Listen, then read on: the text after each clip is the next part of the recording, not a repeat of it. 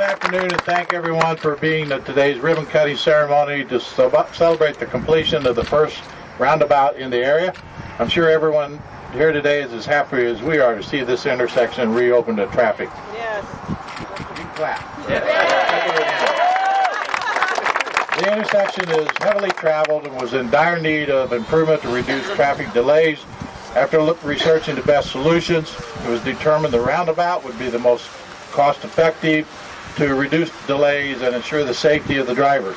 This nearly $1.2 million project was made possible through partial funding from the Ohio Public Works Commission in the amount of $700,000, a TID grant from the from Lorain County, and several of those people are here today. I can't name them all, but uh, Matt Lundy, uh, Ken Carney, and Senator Manning are all on that board.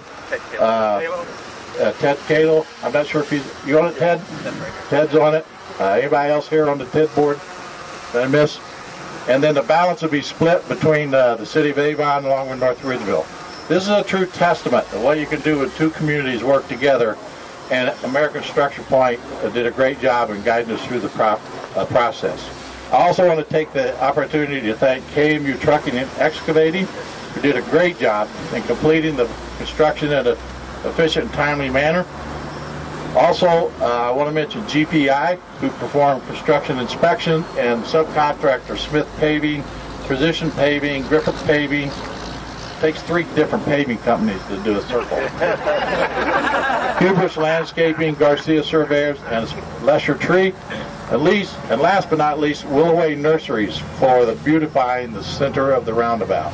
All of these organiza- organizations working together made this roundabout possible, and I wish to wholeheartedly thank everyone that was involved. At this time, I'd like to turn it over to Mayor Bryan Jensen.